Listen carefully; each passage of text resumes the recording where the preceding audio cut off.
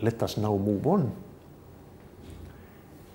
Step number two is the model, or the model equation as it is often said.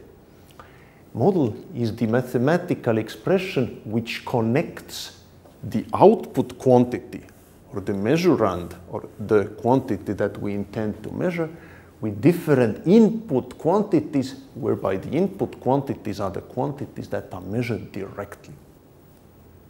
And in our case, input quantities are different kinds of absorbance values. They are volumetric uh, data and also the slope and intercept of the calibration graph.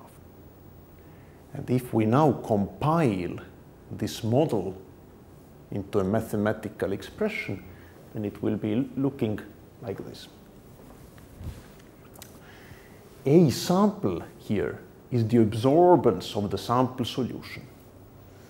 And B0 and B1 are the intercept and the slope of the calibration graph, respectively. And actually, if we take just this part of the model equation, then this part will exactly give us the content of ammonium nitrogen in the solution that was made from the sample. So the sample is diluted before measurement. And if we now want to extend this to the whole sample, not just the diluted sample, we have to multiply this by the dilution factor. And it is fair to say that just for calculating the result, this part of the model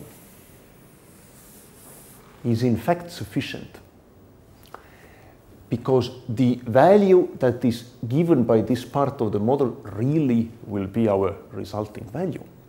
However, we need to include one more term into this model and in fact this delta CDC is an additional term which carries value zero, as we will see afterwards, but which has uncertainty.